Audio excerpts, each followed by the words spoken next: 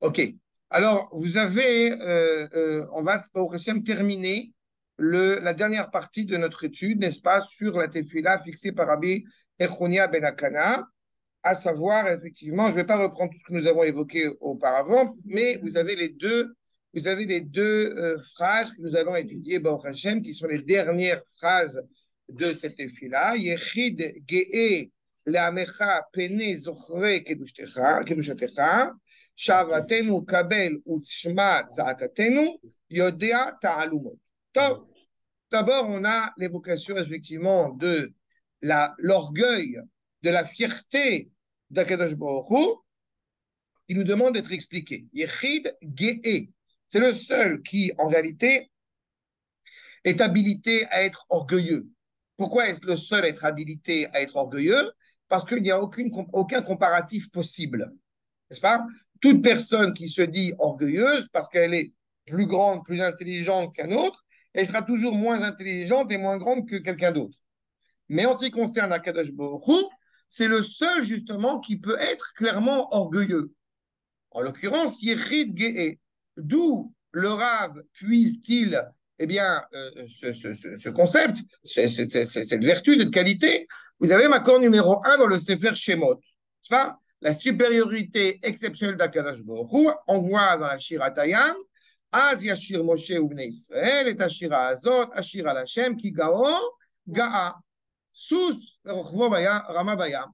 Toute la force, encore une fois, plus grande que le chevalier qui s'enorgueillise d'être, encore une fois, sur son cheval, eh bien, Akadosh Borou est la fierté, l'orgueil par essence.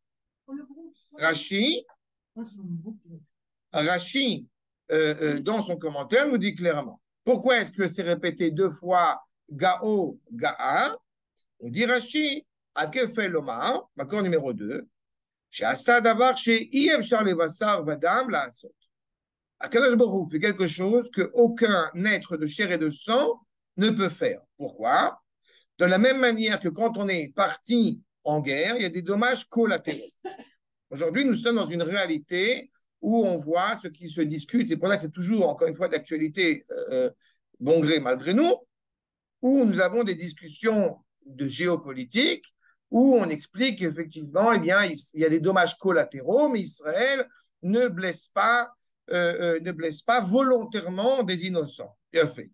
En réalité, puisque ce combat n'est pas mené uniquement, j'ai envie de dire, par Israël, mais un combat mené par Akadosh Baruch ce ne sont pas des dommages collatéraux.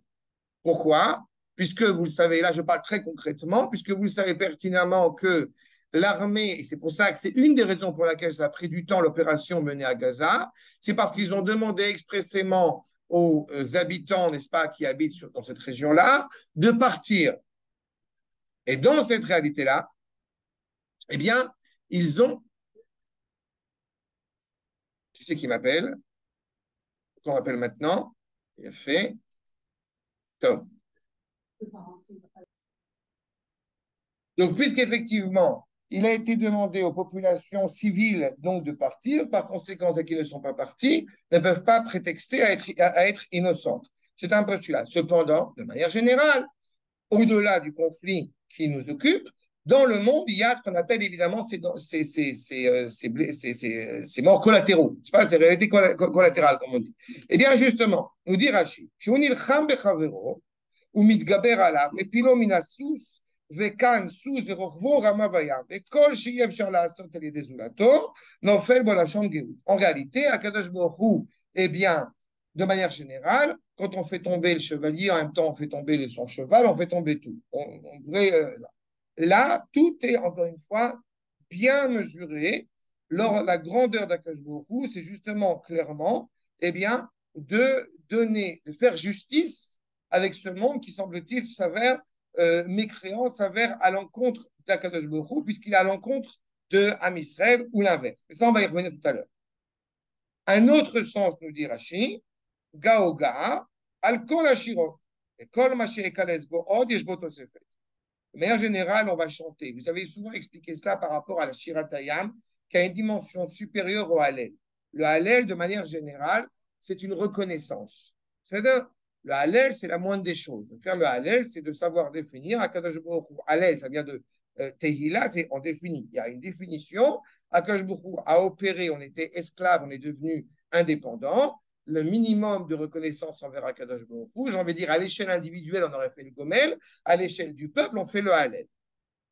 Mais la Shira, elle a une dimension supérieure, parce qu'il ne s'agit pas seulement d'une marque de reconnaissance, il s'agit d'une expression spontanée d'affection à l'égard d'Akadosh Baruch Dans la Shiratayam, pour ne citer qu'elle, eh bien, nous dirons Ze Eli Je veux louer mon Créateur. À cela, Rachid dit justement, pourquoi Gaoga Parce qu'il y a un ajout constant, il y a un ajout perpétuel. On se demande comment est-ce possible que nous en soyons là aujourd'hui en se disant, mais à un moment donné, ça va s'arrêter. Et non. La grandeur, la bienveillance du Créateur, elle est infinie. Et donc, tout ce que nous avons loué, tout ce que nous chantons à Kadosh Baruch n'est qu'une goutte, on va dire, dans la mer de ce qu'on a envie de lui chanter encore plus. Yeshbo fait. V. Lo kemidat meler basar vadam Pas comme un roi de chair et de sang qui serait naturellement limité, encore une fois, dans sa, euh, dans sa présence. Maintenant, aux yeux de certains, il est évident que l'orgueil peut toujours apparaître comme un sentiment négatif, comme un défaut. Seulement, ce qui est assez admirable, si je dois dire, c'est que là où on voit la grandeur et la fierté d'Akadosh Baruch c'est pour ça que Yechid est, là on voit sa grandeur et sa fierté, on voit aussi son humilité exceptionnelle. Pourquoi? Nous dit le Kliaka, le Rav qu'on avait déjà souvent l'occasion de citer. Midgae, pas numéro 3, pardon. Midgae agein. C'est pas un hasard si l'image qui est évoquée en face, c'est le cavalier sur son, cheval. Parce que le cavalier sur son cheval est lui-même est pris d'orgueil. Tu veux être orgueilleux avec Akadosh Boro, eh bien, Akadosh Boro va faire preuve d'un orgueil encore plus grand.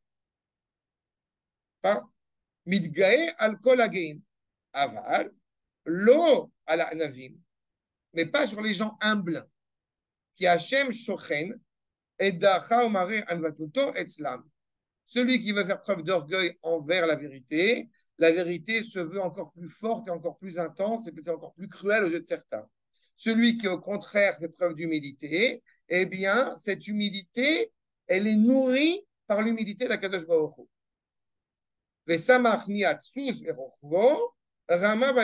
Rappelez que, à titre d'exemple, euh, euh, Bilam, qui fait preuve d'un orgueil exceptionnel, vous avez en face la NES qui parle. La NES est capable de produire des paroles, d'entendre la parole d'Akadosh Baruch ce que Bilam, lui, semble-t-il, est incapable d'entendre dans ce moment-là. Ce qui montre bien, encore une fois, à l'égard de Bilam, une, humiliation vis-à-vis de lui, justement.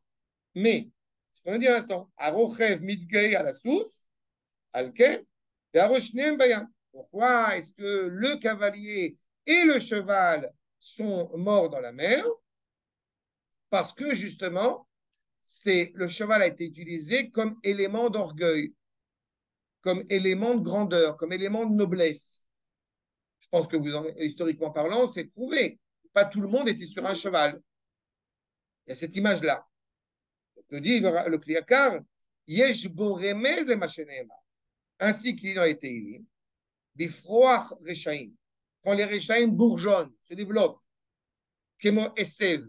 comme de la mauvaise herbe. Vayatzitsu kol po ale aven, leishamdam. Qu'est-ce qui se passe dans l'herbe?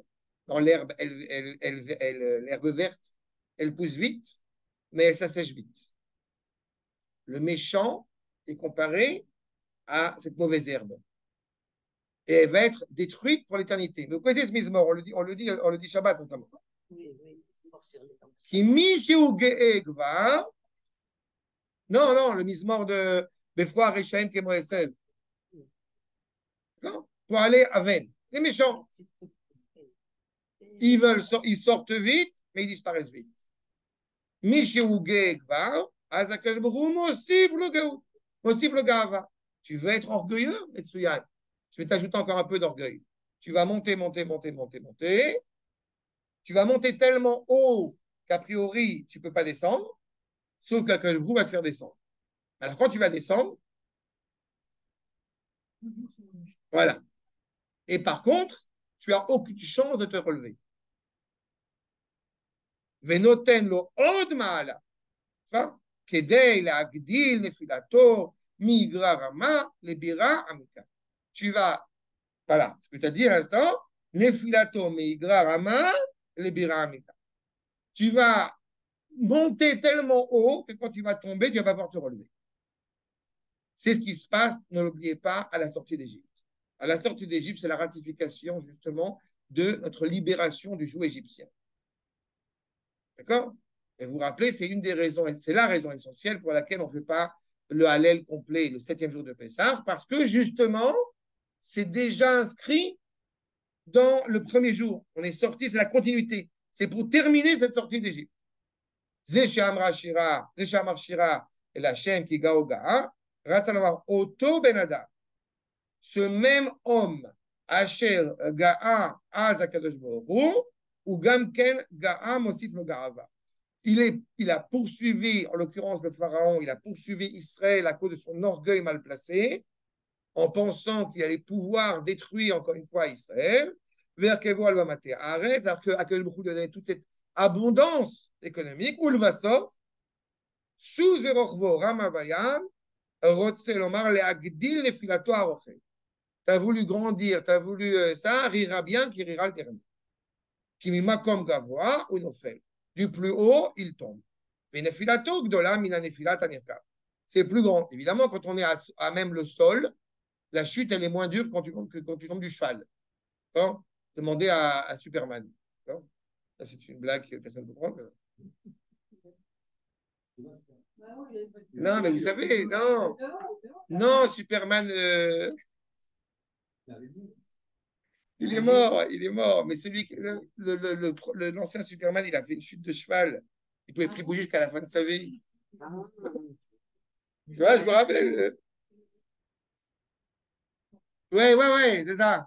Oui, oui, il était avec. Oui, c'est Il était avec Il connaît Superman, moi je connais. Bon, c'est pour la blague. Alors. En tous les cas. Il beaucoup en Israël, il a été beaucoup. en tous les cas, si je fais des blagues, euh, en tous les cas, il est certain que vu la grandeur d'Akadash la, la réaction naturelle vis-à-vis de cette grandeur infinie serait a priori justement de s'annuler face à cette grandeur. Que représentes-tu devant une telle grandeur? Comme on dit l'expression, tu vois une grande, tu vois une montagne, tu te sens petit. Bah, d'autant plus à Kadosh Borou. Sauf que justement, malgré sa grandeur, c'est là où on voit la grandeur d'Akadosh Borou, mais à la fois aussi son humilité, il n'annule pas Knesset Israël. Il n'annule pas l'âme de la nation hébraïque.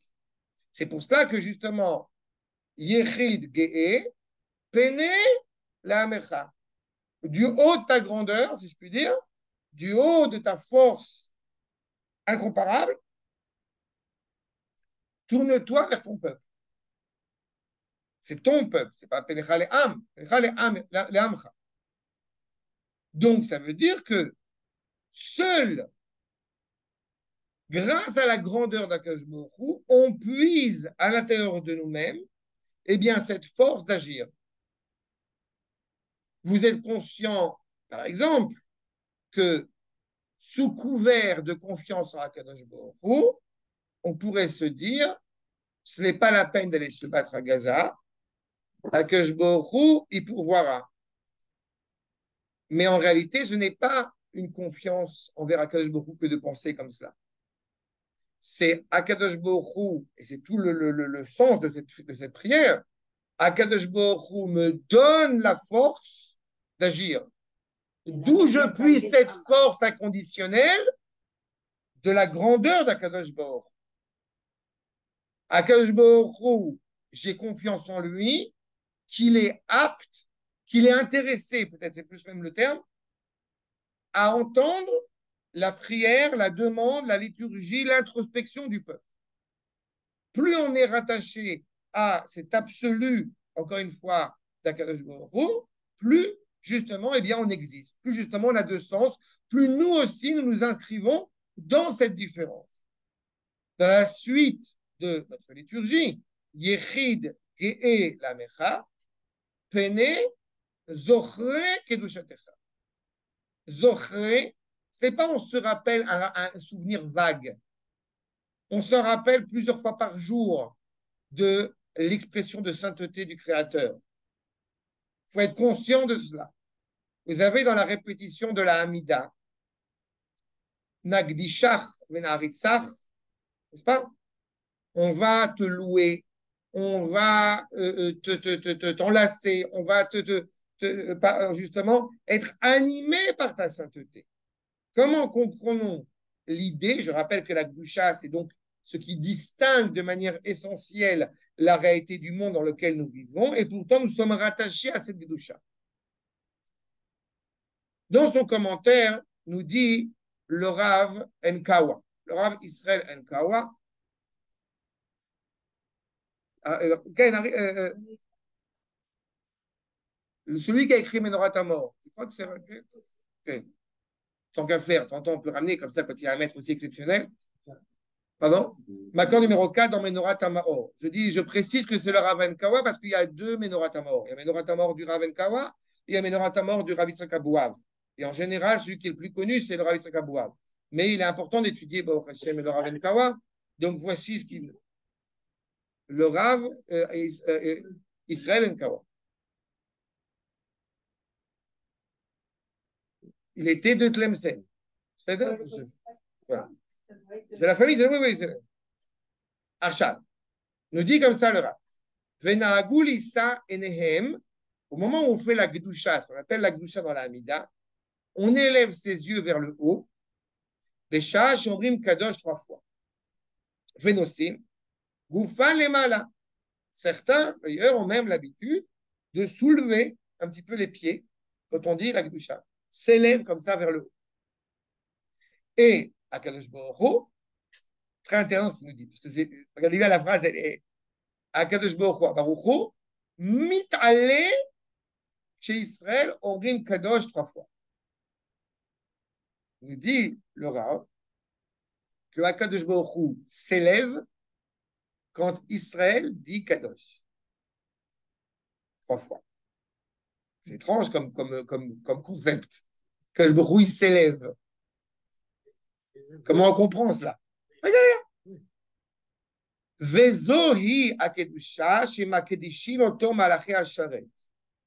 La. Je rappelle que quand on dit la Kedusha, Siyach, une parole agréable, douce, justement aux yeux du Créateur, on a une valeur, semble-t-il, qui soit même supérieure, Leumatam, à défaut des anges tutélaires, qui eux, justement, euh, disent ce qu'ils disent, nous, Meshabechim Veomrim la valeur de notre parole nous rend supérieurs aux anges tutélaires.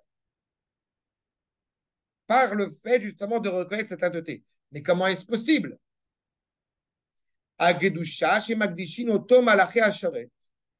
Dirtiv, Séraphim omdim les anges, certains anges, on appelle les séraphim, les, euh, les, les séraphins, euh, Veketiv, on se tourne à droite, on se tourne à gauche, personne n'est capable d'être aussi animé de sainteté que le peuple juif. On connaît le secret des anges tutélaires pour te sanctifier à Kadosh par essence. Je me permets de rappeler aussi que Sod, ça vient de l'unité. On est capable de, justement de comprendre l'unité du monde de, la révélation d'Akadosh. Certains pourraient, une fois, une fois n'est pas coutume, pourraient se dire oui, mais il faut bien séparer la politique de la religion, de la Torah, de Eretz Israël, du spirituel, du matériel, de, je ne sais pas quoi. C'est très sympathique, mais pas chez nous, euh, monsieur le commissaire. Nous, nous sommes conscients, encore une fois, de la valeur essentielle de la Gdusha qui s'inscrit à trois niveaux. En haut, en bas et réunit les deux éléments. Le fait qu'il y ait de la sainteté en haut, on comprend. Ait de la sainteté en bas, c'est déjà plus compliqué. Et pourtant, il y en a. Elle ne cherche qu'à se révéler. Qui permet de révéler cette sainteté en bas? C'est nous, c'est Israël.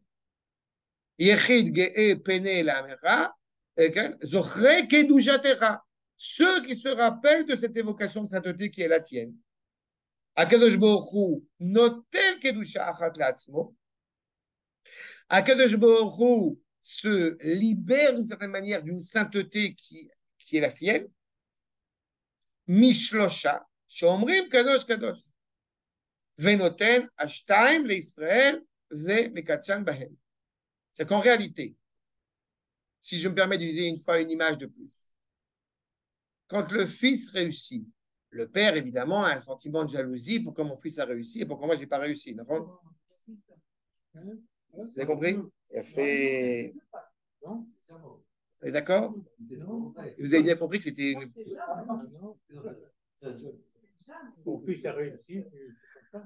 Moi, je suis contente qu'il est dans l'armée. Donc, vous avez compris ce que je veux dire. Si le fils a réussi, le père n'est pas moins fier, il est d'autant plus fier. Il a fait que fait Akadosh Baruch notre Père, je rappelle, qui est aux cieux, et pas que aux cieux, semble-t-il. Que fait notre Père? Plus on, se révèle, plus Akadosh Baruch il abonde de, de, de, de, joie, justement, de cette sainteté qu'il est prêt à se, se mettre de côté pour nous. Encore une fois, l'amour, du Créateur à notre égard. Ce que nous dit le Rabben Kawa. Comme il est écrit dans le Midrash de Vaikra, Vaikra Rabba, Veit Kadashtem, Veaitem Kedoshim, Ki Kadoshani. Veit Kadashtem, vous êtes préparés justement à être animés par sa sainteté, mais est-ce qu'on peut se préparer à être saint? Si on n'est pas saint, on n'est pas saint. D'accord? On se prépare à révéler la sainteté qui nous anime, qui est en nous. Et pourquoi est-ce que cette sainteté est en nous? Kikadosh Ani. Comme Akash il est distinct de la réalité, donc du coup, vous aussi, vous êtes distinct de la réalité. Mais vous allez me dire, bah, ça marche dans un sens, éventuellement, ça ne marche pas forcément dans l'autre. Parce que Akash est animé par la sainteté, qu'automatiquement, on est animé par la sainteté. Sauf si tu es le Fils de Dieu. Si tu es le Fils de Dieu, donc tu as des qualités euh, inhérentes au Père que tu retrouves chez le Fils. C'est clair?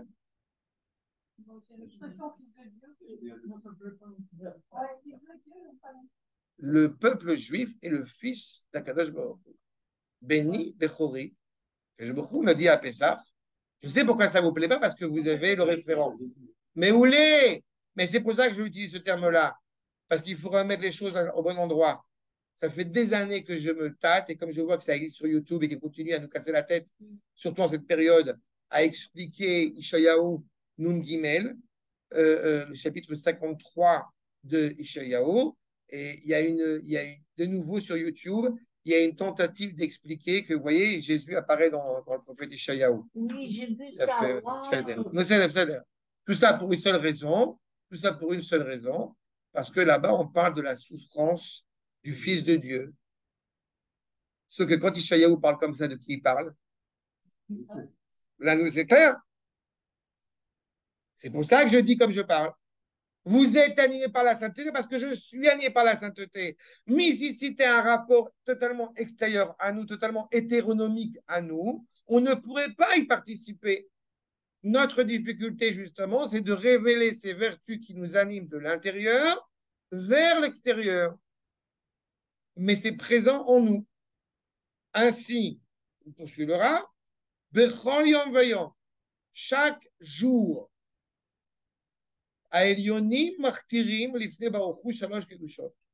les créatures, disons, célestes, supérieures, eh bien, reconnaissent, mettent la couronne devant le roi de ces trois évocations de sainteté, comme je dis, en haut, en bas, et qui vient réunir. Dirtiv, Seraphim Omdim et Me'alo. וכתיב יקרא זה אל זה ואמר, מה ברוך הוא עושה? נותן בראשו. Qu'est-ce qu'il me dit Que fait Akadosh Baruch il prend la couronne qu'il a sur sa tête, Noten berosho achat, veshtaim beroshan shel Israël. Beaucoup il a trois couronnes.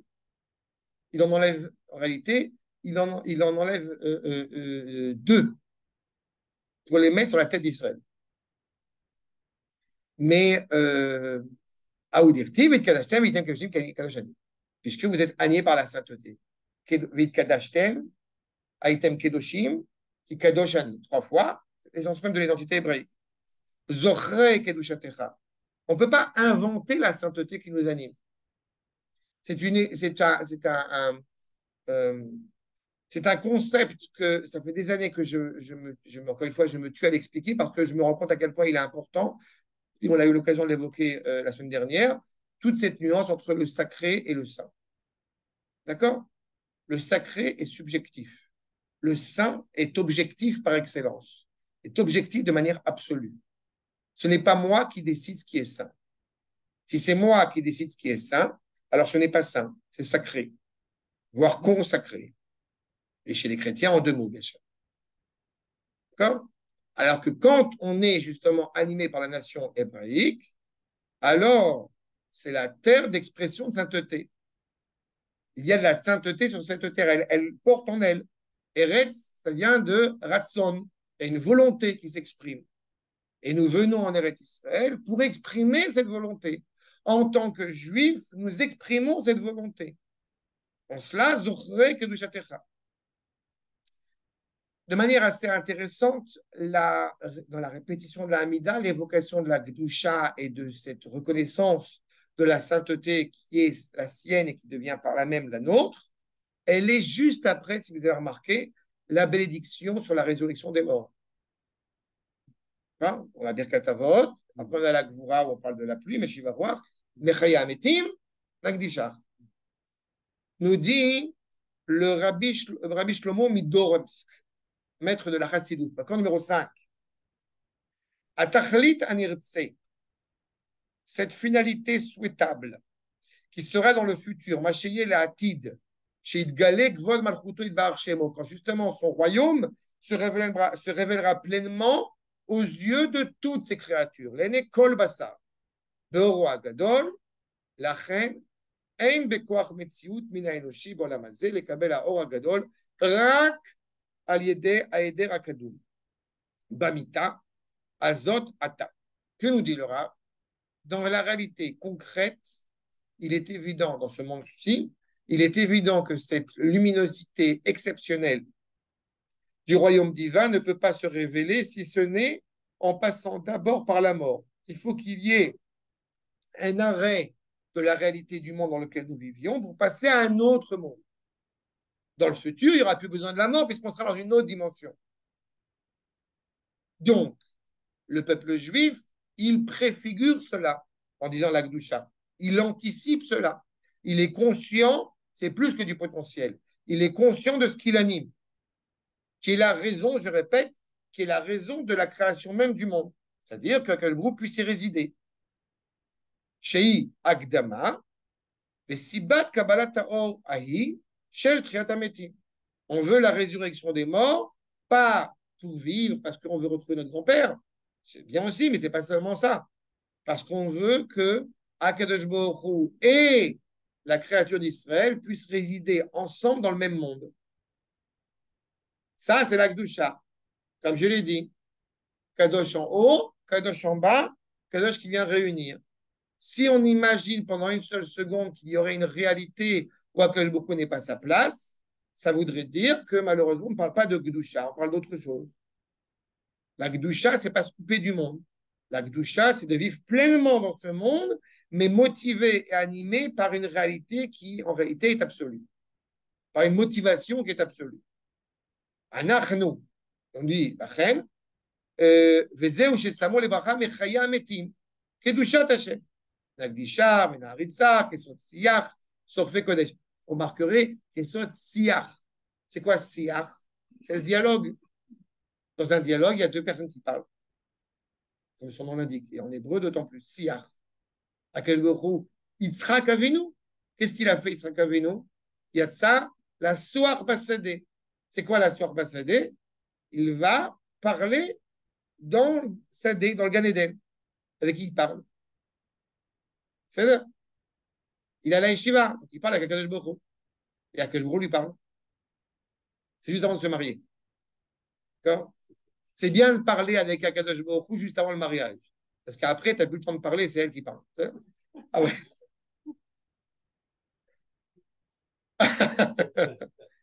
Akamana. Justement, Nagdishach. On va te louer pleinement dans le futur. Comme on veut, encore une fois, avoir ce dialogue avec le Créateur. Malachim. Et donc, les anges vont clairement te donner cette couronne.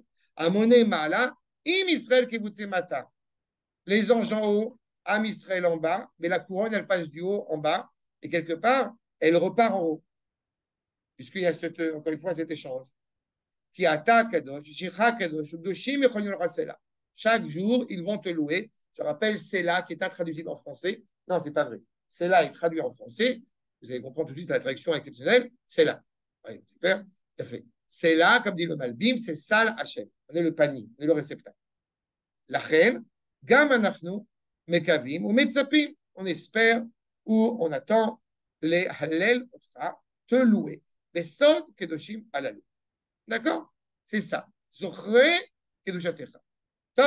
Avant de poursuivre, avant de, suivre la, la, phrase suivante, voyons les enseignements du Rav Makon numéro 6, dans Olat Raya. Geel Amecha Pene Zochre Kedushatecha. On dit le Agadol. Quand il y a une parole, donc encore une fois prophétique, exceptionnelle, qui est annoncée, qui est assurée. On avait expliqué la dernière fois, Chassine, pas que justement c'est une sorte de bouclier automatique. Même dans cette réalité-là, elle n'a de sens que quand elle va être vécue, n'est-ce pas L'idéal hébraïque n'est pas une utopie. Il a un sens quand il est vécu. On parle de l'an prochain à Jérusalem, oui, mais euh, si tu veux, l'an prochain à Jérusalem, c'est en prenant comme postulat que j'avance en déposant mes valises, en balayant sur la Ce n'est pas l'an prochain à Jérusalem comme si c'était une phrase pieuse euh, euh, et vaine. Pas Donc, dit le Rav, Kacher achazon agadol, shel adar On va être rempli de cet idéal.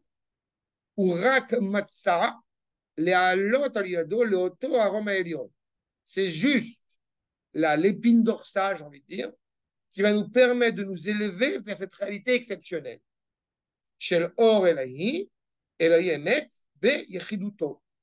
Être rattaché à cette vérité unique qui est celle d'Akadosh évidemment, l'expression même de la vérité. Yechid Agel celui qui est donc gagné par cette fierté euh, incomparable avec aucune forme de fierté qui peut exister, mais de tout désir, de toute approche qui peut exister dans le monde. Pas? Si je ne l'ai pas déjà dit 15 000 fois, mon Seigneur n'est pas grand. Mon Seigneur est le plus grand. C'est pas? C'est pas comme Don Salus. Il est grand. Les Mais comment, combien grand? Grand. C'est ça.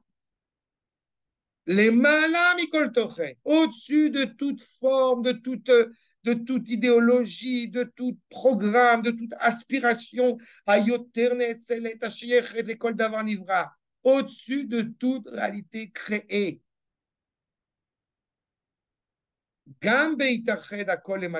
Même au moment où il s'unit, encore une fois, avec cette finalité Ayoter Eliona,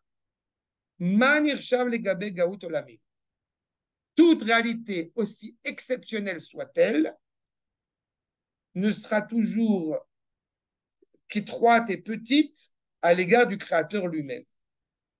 Pourquoi est-ce que je dis on peut y voir la grandeur et l'humilité d'Akash Justement parce que dans cette grandeur, il dit quoi? Donnez-moi juste un petit, une petite tente sur la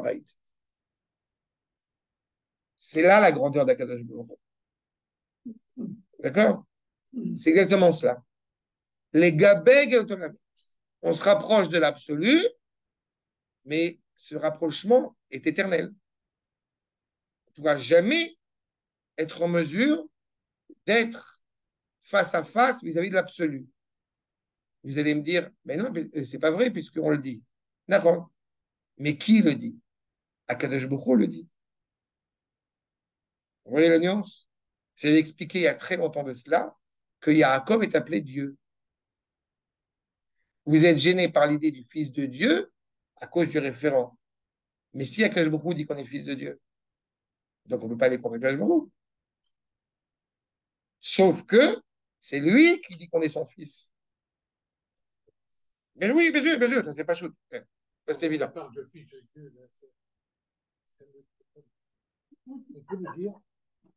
Je veux bien que tu, c'est bien que tu écoutes, David. Remets, remets ton appareil. Ah c'est dommage. Le Fils de Dieu en tant que peuple. Mais c'est le Fils. C'est ce que je lui ai dit. C'est bien, vous, vous, avez, vous êtes tous l'appareil aujourd'hui? Ken, Ken Guy. D'accord. Exactement. Exactement. Il faut être conscient de, de, de, de, tous les combats que nous menons. Ce n'est pas un combat euh, euh, national, ce n'est pas un combat idéaliste, ce n'est pas un combat universel. Ça arrive chez nous et bientôt ça va arriver chez vous, donc vous avez intérêt à nous soutenir. Non C'est déjà arrivé c'est un combat, quel que soit le combat, qu'il soit militaire ou autre d'ailleurs, mais quel que soit le combat que nous menons, c'est un combat qui est difficile, mais c'est le combat, encore une fois, du sens même de la création dans laquelle nous vivons. Et au, bien au-delà de cela, puisqu'on voit qu'on est rattaché aux anges tutélaires. D'accord? Mais c'est, ça s'inscrit dans... Exactement. Ah, je vois que tu es vraiment... Euh, c'est ça. Geoud Kodesh, Amit Cette fierté, encore une fois, animée par la sainteté, qui dépasse, encore une fois, tous les entendements possibles. Ce qui est intéressant, c'est que Olam, Olamim, Olamot, eh bien, ça signifie l'espace et ça signifie le temps. Les deux. Olamim, Olamot. C'est ça Exactement. Et c'est intéressant parce que Olam, c'est à la fois un endroit, un espace, mais c'est à la fois son du temps. Donc en disant que Meimot Olam, comprenez que ça dépasse toute limitation qu'on pourrait, encore une fois, que l'esprit humain n'est pas capable, encore une fois, de, de, de, de, discerner. On commence à penser, vous le savez, on commence à penser quand on a des mots. Ça veut dire qu'avant cela, on n'a aucune possibilité de penser. Donc, c'est quand on a dans notre tête un cadre limité, puisque le mot en tant que tel, c'est limité, il y a un cadre, il y a une frontière, à ce moment-là, on peut produire des idées. Mais il y a une réalité qui précède cela. Euh, dans la culture grecque, vous avez les pré-socratiques, mais les pré-socratiques, c'est justement des pré-socratiques. Donc c'est toujours en relation avec le socratisme. C'est pas vrai, c'est pas français ce que je dis. Si on parle de ce qui précède l'idée d'un point de vue hébraïque, c'est qu'on parle en fait, c'est pas l'idée de Dieu, c'est euh, de Dieu vient l'idée. Vous voyez, vous voyez la, la, notion? D'accord? Non, je n'ai pas compris. Zaïdia Elaït, c'est le Maran arabe Malachedéot. C'est des concepts, voilà, tu dis un mot en hébreu et ça demande des phrases en français. Mais bon, on est obligé de, en français d'être sensible à ces, nuances-là. Parce que c'est ça l'essentiel. Meimot olam, amitalem mikol ilui veper tout ce qui t'apparaît le plus merveilleux, le plus harmonieux, le plus grand soit-il, eh bien, est toujours petit à l'égard de cette authenticité, à l'égard de cette, de cette grandeur. C'est pour ça que quand on utilise des images, eh bien, j'essaye du mieux que je peux d'être toujours très prudent dans les images que j'utilise. Pourquoi? Parce qu'il ne faut pas réduire à Kadosh Il faut au contraire.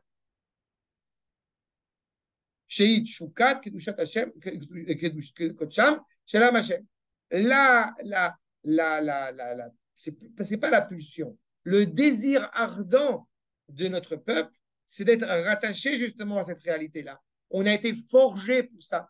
On a été euh, euh, euh, mis en terre la, la, graine pour ça. Nous sommes son champ animé par la sainteté. Nous sommes cette graine qui permet au monde, encore une fois, de, d'être Israël, pour le Rav, ce qui est absolument bien connu, Israël, Allah, Bemachashava, Merosh, Mikedem. Mirosh Mikedem, ça veut dire avant même la création du monde, Akadosh Baruch a pensé à ce qui va permettre de garantir cette création, à savoir Israël. D'accord? Et je répète, nous ne sommes que dans le peuple, que dans cette entité de l'âme hébraïque. C'est ça le Zochre Kedushatecha. Vekadosh Azeh, Vekadosh Azeh Elion, Shoresh Nishmatam Va'avayatam Hu. Je ne m'invente pas une expression de sainteté. Je la porte en moi et j'apprends à la réaliser. J'apprends à la révéler au grand jour, à lui donner sens, à lui donner être réel. Vimkol Ayiridot Ashayardu alors qu'on sait pertinemment que dans le monde dans lequel nous vivons, automatiquement, il y a des obstacles, il y a des impairs. On peut descendre, on peut malheureusement trébucher, énormément trébucher. Mais cette lumière, si je puis dire, cette étincelle de sainteté, elle est inaltérable, elle est euh, euh, euh, inintoxicable, inoxydable. Cherchez le terme, inoxydable.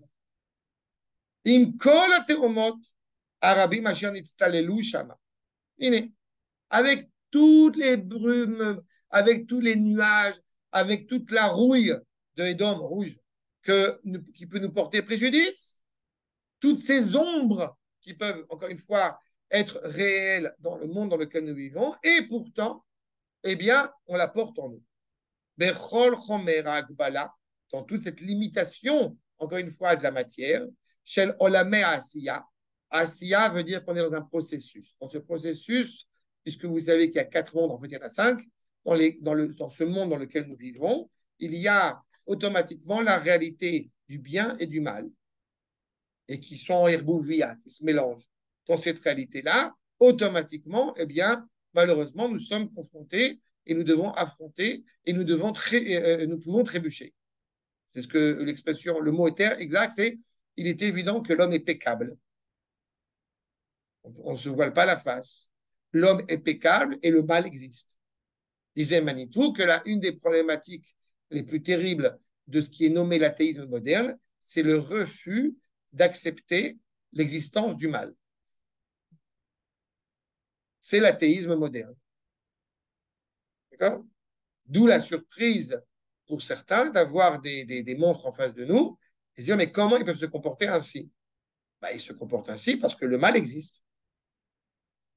Enfin, Yaakov, quand il doit confronter, quand il doit affronter euh, euh il n'y a pas écrit qu'il euh, qu'il est prêt à lui donner un cadeau, qu'il est prêt à faire un accord de paix. Non, il est prêt à lui apporter un cadeau, il est prêt à l'embrasser, mais il est aussi prêt à la guerre. Et les trois montre que justement il va gagner le combat. Parce que quand on est prêt en réalité uniquement à apporter un cadeau ou faire la paix, c'est qu'on agit par faiblesse. Et pourtant, il craignait, euh, il craignait son frère. Il avait dans les bagages. C'est pas exact.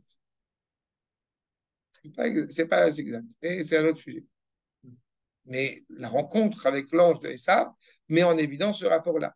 De la même manière, encore une fois, que ce qui nous anime ici au plus profond de l'entité hébraïque, c'est de se rattacher à cet absolu, à Akashbouchou, malgré les tempêtes. Hein? Il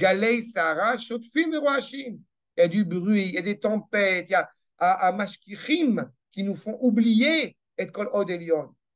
Certains, par exemple, pour reprendre encore une fois vis-à-vis du contexte, pourraient euh, se dire on a peut-être oublié pendant quelques années, peut-être, qu'on était dans une guerre, qu'on était en conflit.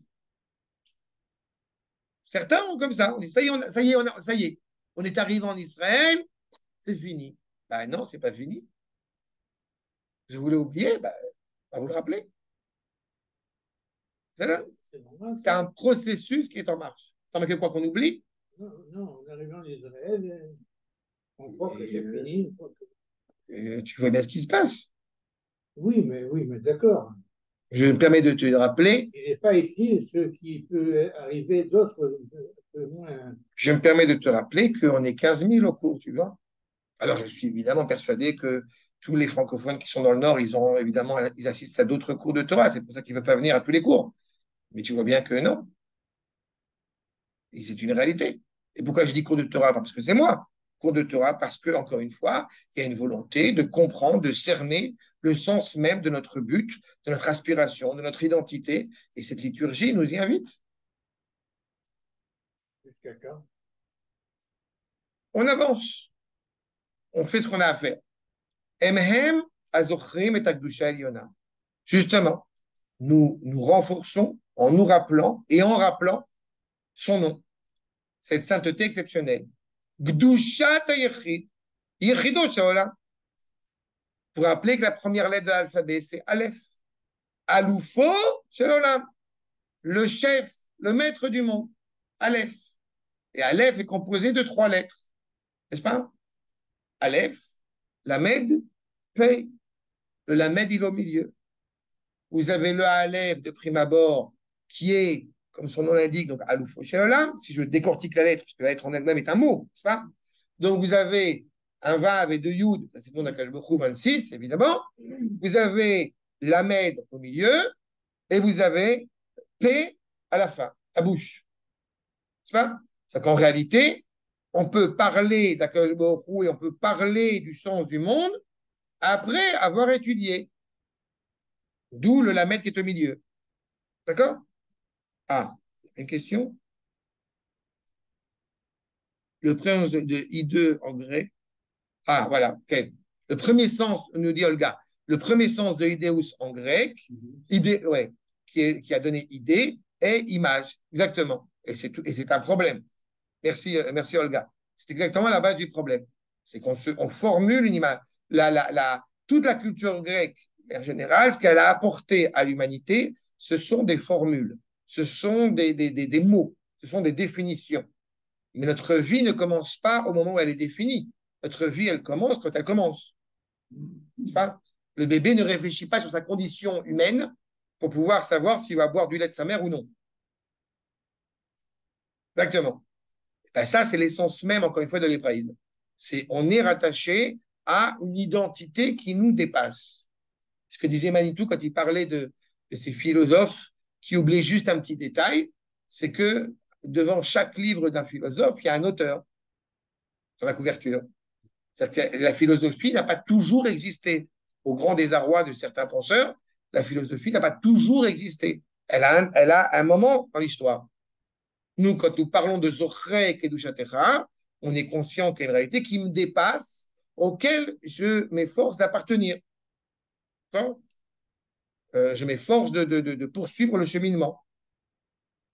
Si je me peux permettre une, image supplémentaire, on a du mal à imaginer que nos parents ont dansé euh, sur Claude François ou sur euh, je ne sais pas qui. Ça dépend des âges.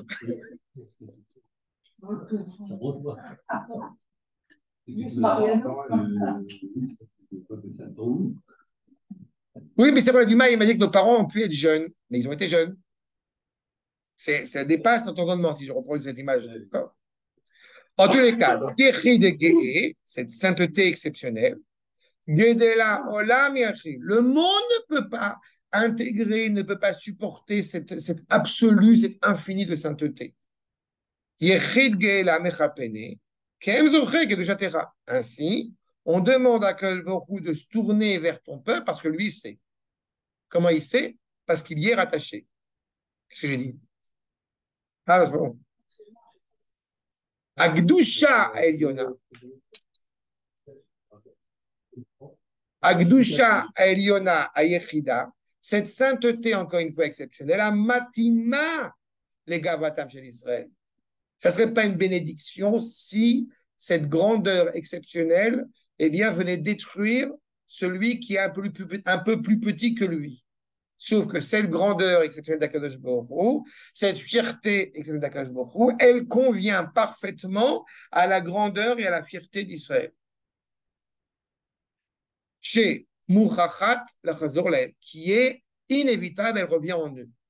Je vous encourage, et, ça, ça, ça, parcourt tous les, tous les réseaux en ce moment, d'écouter ces euh, lieutenants, ces commandants, avant de partir au combat, comment est-ce qu'ils parlent. On voit à quel point, et certains d'entre eux n'ont pas étudié au roi du Rav C'est Mais on entend cette force qui transcende de l'intérieur. D'où il appuie cette force-là? De là. Ils sont animés par cela. Quand vous avez un Mefaket qui dit J'ai devant moi les armées de David, les Maccabim, les, le Lechi, la Haganah, il est conscient que ce n'est pas une guerre de défense. C'est la réelle pensée inscrite encore une fois dans l'absolu, dans cette fierté nationale qui parfois, peut-être en tout cas en apparence, fait défaut et nous manque. Parce qu'on s'oublie, parce qu'encore une fois, on ne se rappelle pas de qui on est. Mais là, nous en sommes les témoins. On est profondément fidèles, témoins de ce lien indéfectible. Et Akash nous le rend bien. Nous témoignons en étant de, du discours, de la parole, de la présence d'Akadosh Baruch. Leman echai vereai adabaran ashalom bach leman beit Hashem Eloheinu avakshatof Traduction, quand on envoie un missile, on écrit sur le missile Yerushalayim Irakodesh. C'est la traduction plus ou moins littérale de ce qu'il nous dit Les ma'an vereai. Pour mes frères, Adabera, je parlerai en vue de ton nom, en vue de la résidence de ta perfection de ton nom, Shalom Bach, pour toi, Akadosh Baruch les Ma'an Beit pour la maison d'Akadosh Baruch notre Dieu, et Vaksha Tovlach, je demande ton bien. N'oublions pas que ce n'est pas seulement, encore une fois, pour Israël, mais c'est bien plus que ça. La deuxième phrase qui est évoquée, n'est-ce pas, euh, euh, juste après, Sha'avatenu Kabel ou Shma Yodet Bon, il y a une première question sur euh, des termes qui sont ici utilisés. Nous avons vu dans le premier cours Kabel Rina. Il y a, Rina, il y a Sha'ava et il y a Tsaaka. Je voudrais qu'on essaye de comprendre, Bezrat Hashem, quelle est la nuance, si on, si on, si en parle, qui existe entre ces trois mots, ces trois propos? Dans tous les cas, il faut s'interroger dessus. Ce qui est sûr, c'est qu'on demande à Kajborou, Sha'avatenu, notre prière a priori, accepte-la, reçois-la, Kabel, et entend, écoute, Sa'akatenu, notre cri, notre appel, Yodea Ta'alumot, toi qui sais ce qui est caché. Ta'alumot, ce qui, ce qui est caché au pluriel. Tout ce qui pourrait être caché. Traduction pour l'instant littérale. Maintenant, quand on va effectivement essayer de comprendre ces nuances entre euh, justement et là la prière est demandée sous cet angle-là de Sha'ava et de Tzahaka, eh bien, qu'est-ce que ça vient apporter en plus? Avant d'arriver à Sha'ava face à Tzahaka, je voudrais d'abord rappeler entre Rina et Tzahaka. Vous avez ma corde numéro 7. Umi Roni balayla le rosh ashmurot, shifri chamaim libech. Lève-toi, donc prie, euh, chante, je ne sais pas, la nuit, à la tête de la, à, la première, euh, euh première, première ténèbre, première, à la première obscurité, et déverse ton cœur, déverse ta prière comme de l'eau, des larmes qui coulent va nous dire le Malbim. Qu'est-ce que c'est que cette Rina, Roni? Menyan Kina. Donc, Roni serait une rina serait une lamentation. Ne, pour l'instant, ne pensez pas que c'est une lamentation. C'est ce qui semble être. On va voir. Dans le sens du verset, c'est clair, c'est une lamentation. Puisque le Malbi nous dit Ben Kina. Maintenant, numéro 9. Tavo le fanair tfilati, ate oznecha le rinati. Cette prière, ma prière qui arrive devant toi, tend l'oreille pour écouter justement, eh bien, donc cette, cette rina. Nous dit le Malbim de nouveau sur les Teilim, Metzayer tfilato ke etzem mufshat Cette prière, quelque chose d'abstrait, si je puis dire, qui monte vers Akash qui se trouve, qui se, qui se tient devant Akash Pourquoi?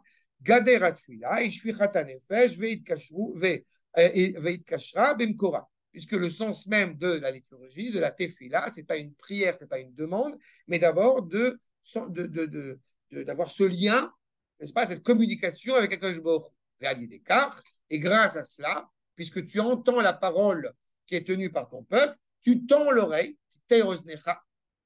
gam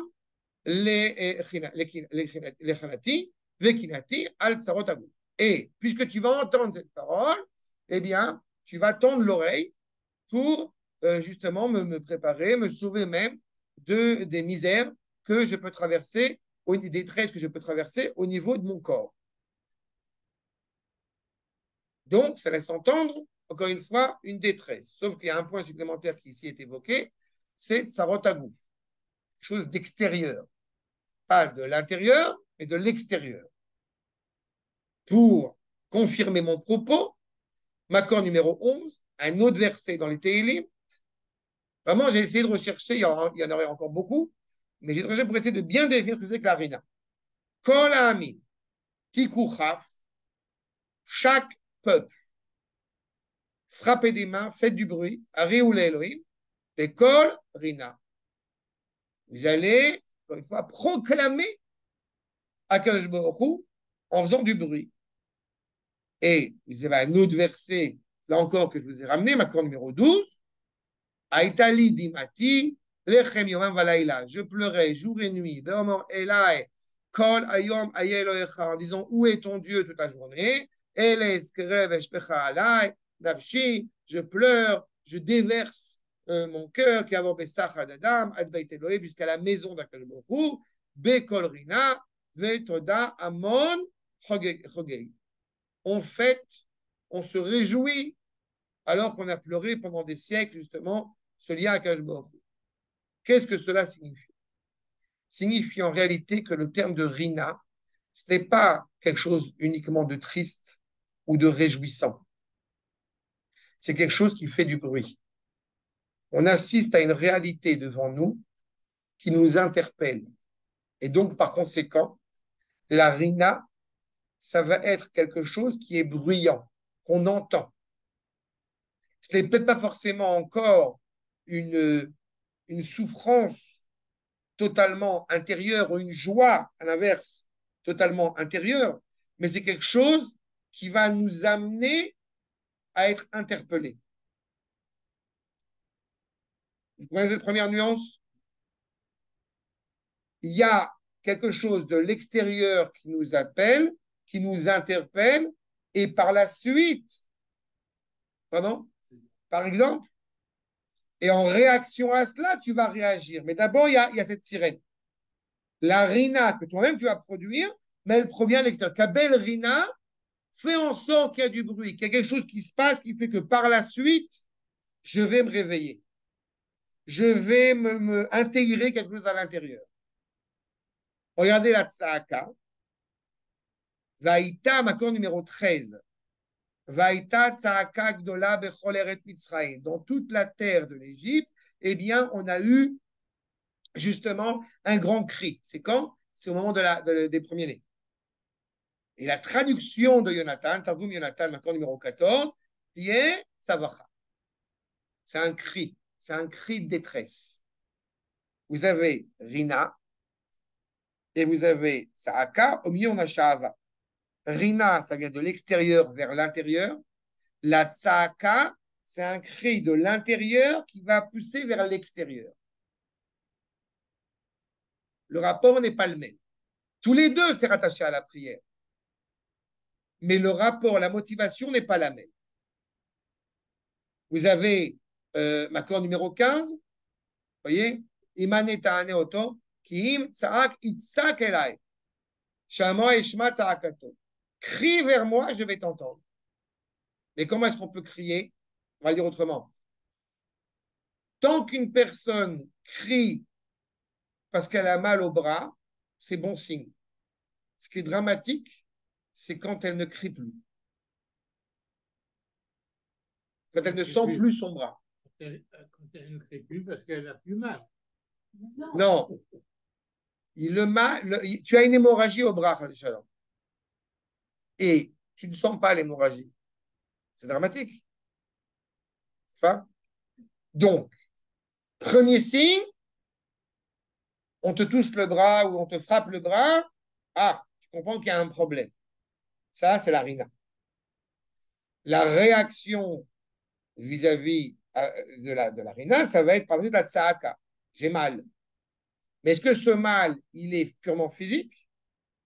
Ou il est plus profond que ça Par exemple, est-ce que quand on va, euh, je ne sais pas, quand on va avoir un taux de cholestérol super important, est-ce qu'on comprend qu'il était temps de changer ses habitudes alimentaires?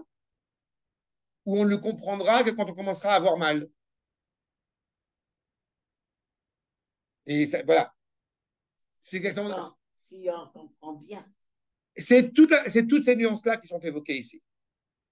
Comprenez bien que, le, encore une fois, le sentiment de tomber, de la chute, de l'obscurité dans lequel on peut, encore une fois, tomber, c'est profondément inscrit en nous.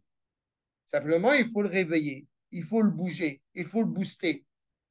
Une fois qu'on a eu cette attaque de l'extérieur, il va y avoir un cri de l'intérieur. Et entre les deux, Shahavatenu, justement, euh, euh, euh, euh, Kabel. Pourquoi Shahavatenu et qu'il y a le Tzahaka après? Parce que justement, on est en train de se réveiller de l'intérieur.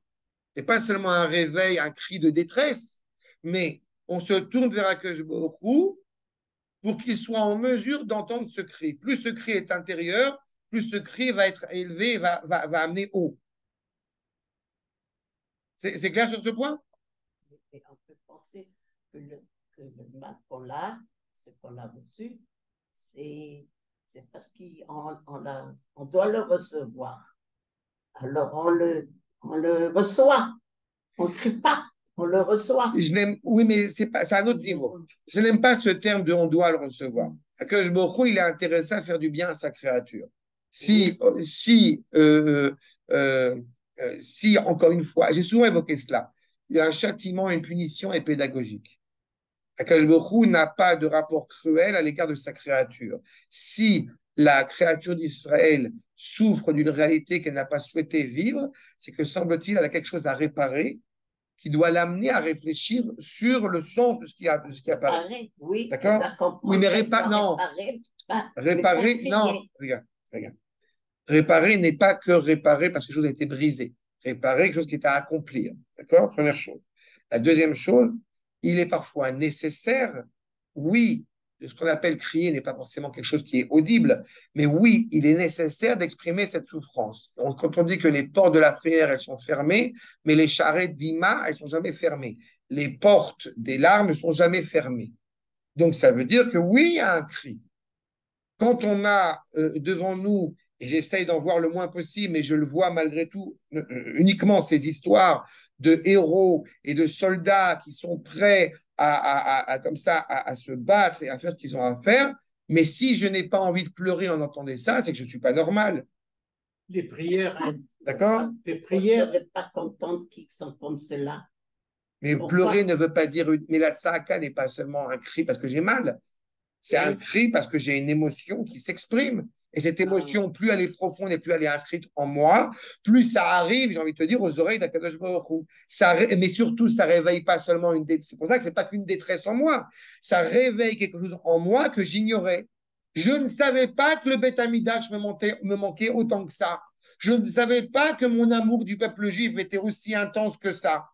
Eh bien, quand tu arrives à une attaque de l'extérieur, tu es sondé à quel point tu es vraiment rattaché à ton peuple, à quel point tu es rattaché à ta terre.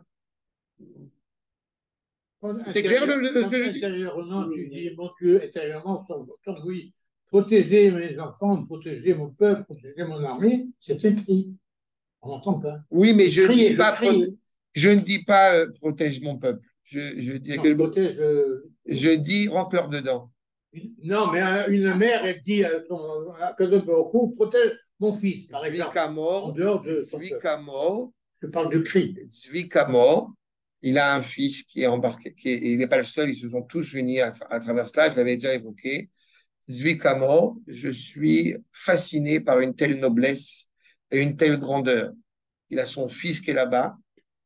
À Gaza, il est, il est, euh, il n'est pas soldat, il est khatouf, il est, il est otage, merci. Il est otage là-bas. Et Zwikamor dit, je, euh, euh, euh, je, je, sais que mon fils est là-bas, mais je, je, comme il a dit ça, je mets la nation avant mon fils. D'accord? Que maman, moi, sans arrêt, quand il y avait quelque chose de particulier, elle disait toujours le mot Rabbi Meir. C'est mais c'est autre chose. C'est écrit. Oui, mais c'est pas ce que je ne le dis pas fort, oui, mais ça dit que c'est pas ce que je suis en train de te dire. On parle pas de ça. Là, on parle, encore une fois, tu remarqueras, on l'a dit pendant toute la liturgie. T'en supplie, Takshi. Bien. On a dit, euh, quand on a fait la liturgie, on l'a expliqué. Vous avez remarqué qu'il n'y a pas d'individu. On parle à Mecha, Shavatenu, Saakatenu.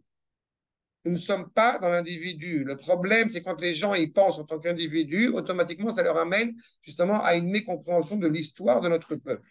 Ce qui ne veut pas dire qu'on est indifférent au sort de notre peuple, c'est pas ça que je suis en train de dire, au, au, indifférent au sort du membre, des membres de notre peuple. Mais on doit savoir ce qui passe entre Exactement. La priorité essentielle, c'est de détruire le mal. Et on demande évidemment que Akash soit profondément miséricordieux en parallèle avec nous Mais que d'abord et avant tout, que son nom, que de c'est en son nom, pour son nom, par son nom que notre combat prend tout son sens. Regardez le Rav Kook. Shavatenu kabel ushmat tzakatenu yodeat alumot. בפנימיות, תהומה של הנשמה עולה היא השוואה. Dans les entrailles, dans les, pro, dans les entrailles profondes, dans l'intérieur le plus, le plus, je ne sais pas comment le dire, le plus profond de la Neshama, se cache le désir d'être rattaché à Kajboch. Je vais à cette fille-là, et vous avez remarqué aussi qu'il y a Yeshua, c'est la même racine. D'accord? Pourquoi? Parce que nous sommes rattachés à lui. Mipnei à Ariga Elahit. La rogue. Pas avec, euh, avec Alev, la rogue. Comme euh, coudre. On est rattaché à lui. Ah, c'est Ariga. Ariga Elahit. C'est une soif, c'est rattaché. Une soif d'être attaché à la lumière de la vérité. Parce que nous avons un désir de, de percevoir cette lumière agréable, celui qui est la merveille par excellence de tous les mondes, de toutes les réalités. Comment tu peux être attaché à Kajbourou si tu ne le connais pas? Tu ne peux pas. Alors, comment on est rattaché à Kajbourou Tu es rattaché à Kajbourou parce que tu as une neshama en toi qui y est profondément rattachée. Et parfois, eh bien, tu ne ressens pas la parce que tu ne peux, pas peux pas ressentir la neshama. Et parfois, tu es conscient de ce lien parce qu'il se révèle par différentes manières. Et parfois, c'est plus compliqué. Il faut qu'il y ait un appel extérieur pour te rappeler qui tu es. Pour te rappeler ce lien d'éternité auquel tu es rattaché. Ah, je, ah. Comment est-ce que je peux, tout en étant conscient justement de ce lien indéfectible à l'égard de mon Créateur, comment je peux le percevoir? Je vais répéter, je ne peux pas. Mais je peux le percevoir si j'ai soif. Comment tu sais que euh, y a parfois des régions, n'est-ce pas, où on ne sent pas la chaleur, donc on ne sent pas la soif. C'est dangereux. Donc heureusement qu'on sent qu'on va s'assécher un petit peu pour pouvoir boire. Bon, eh bien, il n'empêche que le corps, par essence, a besoin de boire. Il n'empêche que, par essence, l'identité hébraïque, elle porte en son sein le sceau qui le rattache à Kadosh Baruch Alors, parfois, on a besoin justement de cette rina qui va nous rappeler cette soif, qui va nous ramener à cela. Mitor, et la. De cette neshama qui va se tourner clairement vers Akash Baruch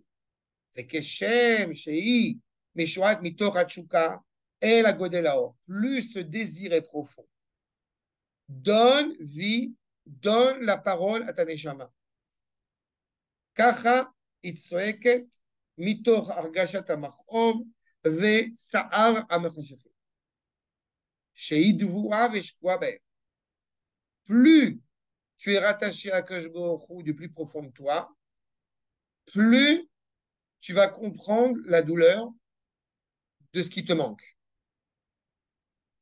Allez expliquer à un juif qui n'a jamais étudié la Torah de sa vie, allez lui expliquer avec émotion le désir que vous avez de renouveler les sacrifices dans le Beth Amikdash. Il y a une chance sur une qui vous prend pour un malade mental. Ou mieux, mais on est comme les musulmans. Ça aussi, c'est une méconnaissance historique assez terrible. Mais c'est ça. Et à l'inverse, plus le temps avance, et plus on étudie, et plus on est rattaché à quelque chose d'absolument exceptionnel, la compréhension de la génération à laquelle on appartient, plus cela nous fait mal de ne pas pouvoir vivre ce que la Neshama désire ardemment. Donc, plus ça te fait mal, mieux c'est. Parce que plus ça te fait mal, plus ça veut dire que tu es conscient pourquoi tu as mal. C'est ça la tzaraka. est passé de Rina, Shava, que tu aspires quelque chose, et la tzaraka qui est à l'intérieur. Merci David. Omnam, poursuit le Rav Kook. À quel point tu as soif? À quel point tu es profondément, justement, eh bien, rattaché à cette soif intérieure de te rattacher à Kajboru, beta arato, dans toute sa pureté. Je ne parle pas d'exaltation. Exaltation, c'est ponctuel. On parle d'une soif sincère, réelle, d'être attaché à Kadosh Baruch Adorom, Agova, l'or qui est le plus pur possible. C'est dangereux dans le monde dans lequel nous vivons. Vous savez pertinemment que on peut avoir une exaltation, mais une exaltation qui n'est pas orientée dans la bonne direction. Une exaltation, une exaltation idolâtre. Non, on porte en nous ce saut de la vérité, cette soif d'être attaché à Kadosh Baruch de manière exceptionnelle. Mais à quel point on en est conscient? À quel point on, se, on, on souffre de cette perfection qui n'est pas encore arrivée? Prenons un exemple, une fois de plus, pour bien euh, peut-être comprendre un petit peu ce propos. Aux yeux de certains, la guerre que nous menons, c'est une guerre de défense. D'accord? Et l'objectif étant évidemment à un moment donné d'arriver à un cessez-le-feu. Aux yeux de gens un petit peu plus malades mentaux comme moi, minimum une villa dans le Gouche Minimum. Moi, non. Moi, je veux une villa dans, dans la rue de Non, mais c'est minimum. Minimum de retrouver notre présence clairement dans toute la bande de Gaza. Oui, j'ai compris. Je dis le minimum, c'est une villa dans Gaza. Je dis simplement qu'aux yeux de certains, la question qui se pose par rapport à la guerre qui nous occupe, c'est comment est-ce qu'effectivement on détruit le Hamas, euh, comment est-ce qu'on va se défendre, euh, qui va être présent à Gaza après la, après la, après la guerre. Ça, n'est pas ce à quoi le Rav Kook, par exemple, parle. Allons plus loin. Donc, d'avoir une villa dans le Gush Katif, dans toute la bande de Gaza. Pourquoi? Parce que ça suffit, euh, les palos sont des catastrophes, donc on doit se réinstaller à Gaza, ils ont perdu la guerre, et donc c'est comme ça. Ça, c'est le deuxième niveau. Il y a un troisième niveau. Le troisième niveau, il peut sembler être similaire au second, mais en réalité, il est totalement différent. Il est impératif de se réinstaller dans la bande de Gaza pour commencer, parce qu'il faut sanctifier le nom d'Akadosh sur sa terre. Et là, ce n'est plus négociable. Vous comprenez? Ce pas. Non, non, non, non, non, non, non. Ça n'a rien à voir avec les rabbinim. Ça n'a rien à voir avec les rabbinim. C'est le peuple juif dans son entité qui est conscient, encore une fois, de la raison pour laquelle il faut s'installer dans la bande de Gaza. Ça n'a rien à voir, et je me permets de le dire pour que ce soit bien clair, ça n'a rien à voir avec une idéologie sioniste, post-sioniste, passionniste, rien à voir. Ça a à voir d'abord et avant tout avec la soif que nous avons ou non, que nous avons, mais révélée ou non, envers le nom d'Akadosh Baruch. C'est clair la nuance, la, nuance que j'opère ici? C'est ça qu'on est en train d'évoquer. Le Zikou Chelion, c'est de savoir réellement pourquoi tu es aussi attaché à ton peuple, à ta Torah et à cette terre. Ensemble. C'est quand l'or est le plus pur qui soit. Et il est le plus pur qui soit. C'est pas à l'échelle individuelle, c'est à l'échelle de la nation. C'est pour ça que je ne dis pas les rabbinim. Tu vas dire, non, il est, certain cependant que plus on étudie, plus on est conscient de ce lien. Mais on est conscient de ce lien qui existe de manière sous-jacente déjà en nous. C'est ça? Enfin, pas de la réalité, de ce, que, de ce que nos oreilles entendent et nos yeux voient actuellement. Je n'ai pas compris la question. C'est-à-dire, parlons terre à terre, qu'est-ce qu'on fait des 2 millions de personnes qui sont à Gaza? Par exemple, par exemple, dans les trois solutions, la 1, la 2, la 3. Qu'est-ce qu'on les renvoie Non, mais je dis pas. Je dis, moi, j'aimerais bien avoir une réponse. J'ai déjà répondu. Mais il n'y a pas de convaincu. Hein? Il n'y a pas de convaincu. Il y a une parole vraie et authentique qui a été donnée. Je vois que tu écoutes les propos que j'enregistre tous les matins. Bon, ça fait toujours plaisir. J'ai évoqué ce que le Rambam invoque. Mais là, encore une fois, je, bon, on risque de me répéter, c'est pas grave. J'ai déjà expliqué que parlons à des gens, d'accord? Hmm. Pas à cette table spécialement, pas, et pas sans mépris pour personne. Et je veux que tu comprennes quelque chose. Parlons à des gens qui sont animés par la vérité de la Torah. D'accord? Et uniquement par elle. En admettant que le Hamas, dès que les Juifs sauront répondre à cette question, et pas répondre momentanément, concrètement, tu verras qu'on aura déjà fait un grand pas. Certains le sont prêts aujourd'hui. Mais si on admet, disons, que le Hamas soit Amalek, à la vérité, même s'il fait partie des sept peuplades, le résultat est le même. Et ce n'est pas le problème. Disons que Hamas, c'est Amalek. Est-ce qu'un juif dit pieux, il est prêt à assumer ce qu'il doit faire C'est concret, tu as vu concret, je te traite terre à terre. Est-ce qu'un juif qui est animé par la valeur de la Torah, il est capable de tuer hommes, femmes et enfants à Gaza? Il est prêt ou il n'est pas prêt? Je connais la réponse. Je connais la réponse. Je connais la réponse. C'est pas lui. Mais non, mais c'est pas David. Encore une fois, c'est pas toi qui décide. Quand j'ai dit que si le Hamas, quand j'ai dit est-ce que le Hamas c'est Amalek, je peux t'assurer qu'un certain nombre de Rachamim ont défini le Hamas comme étant Amalek. Donc, à Kavod, c'est pas Kavod, ce n'est pas vers David que je me tourne, c'est vers le monde de la Torah que je me tourne. Et dans le monde de la Torah, je répète encore une fois, est-ce qu'on est animé par sanctifier, par unifier, par révéler le nom d'Akadosh ou où on veut avoir la paix, foutez-nous la paix tranquillement. Tu veux des paroles concrètes, je te les donne. Mais les paroles concrètes, il faut comprendre qu'elles sont, est-ce qu'elles sont audibles par tous? La réponse, non. Mais donc, qu'est-ce qu'on fait? Première solution, on reste les bras croisés chez soi. C'est une possibilité. Deuxième possibilité, on va participer activement d'une manière ou d'une autre, par le combat, en amenant des chaussettes et des caleçons aux soldats, en proposant, en prenant des paroles de Torah, en transmettant des valeurs à, droite à gauche. C'est ce qu'on fait. Chacun à son niveau, chacun avec ses qualités propres. On écrit, on parle, euh, ce que vous voulez. Il y a des années de cela, quand j'ai demandé à Maurice Verabi qu'est-ce qu'on peut faire, il m'a dit tu enseignes, tu écris, tu lis, ce que tu fais. Je fais. Est-ce que c'est entendu? C'est Entendu combien? 5 personnes 15 personnes sur Internet, il peut aller à 300 personnes? Bah, au Tu as raison. C'est tout.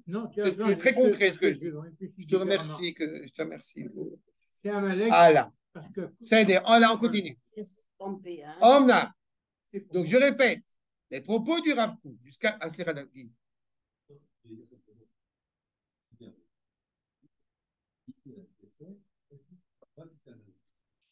Oui, mais même Bibi, avec le respect que j'ai pour lui, non, mais même avec le respect que j'ai pour le Premier ministre, de toute façon, que je dirais parce que c'est le Premier ministre, je demande à une autorité rabbinique de m'indiquer est-ce que Hamas a les signes avant-coureurs d'Amalek? Réponse auprès de mon maître, la réponse est oui. Et c'est pas d'aujourd'hui, ça fait, ça fait 15 ans, 20 ans qu'il a dit. C'est là? Et de toute façon. Il y a des chances que Bibi il a, il a, il a, entendu ça du Rav, Parce que je sais qu'il y, a beaucoup de discours qui ont été pris directement du, du Roger Bref, en tous les cas, Rom Vegova, chez la quand on a cette soif, à dire Magia, à quel point on souffre réellement. Sar chez la Maasarim où on vit dans cette, dans cette brume, dans l'obscurité. Et c'est pour ça que je t'ai répondu comme je t'ai répondu, David. Parce que c'est le moment où, encore une fois, quelqu'un qui n'a pas étudié la Torah, je ne veux pas lui en vouloir, ça fait partie de l'apprentissage, on apprend. Mais quelqu'un qui va tous les ans se réfléchir sur est-ce qu'on doit dire Zecher ou Zeicher Amalek, mais là, on a une réalité concrète. Non, mais encore une fois, ce n'est pas le propos. C'est de savoir sur quoi on est insistant, sur quoi on est têtu. Ou alors c'est du vent, ou alors c'est du bluff. Ça fait rire beaucoup de gens avec une kippa sur la tête, le fait qu'il y a des petits jeunes qui, tous les ans, ils essayent d'amener un mouton sur leur rabaï. Mais ça ne devrait pas faire rire. Ça devrait éventuellement faire sourire de se dire c'est émouvant de voir ce qu'ils font et de se dire j'espère, Bezrat Hashem, que ça va être cette année. Sinon, on n'est pas cohérent par rapport à ce qu'on dit. Il est temps, et ben, Hashem, cette jeunesse, elle est de plus en plus cohérente par rapport à ce qu'elle dit.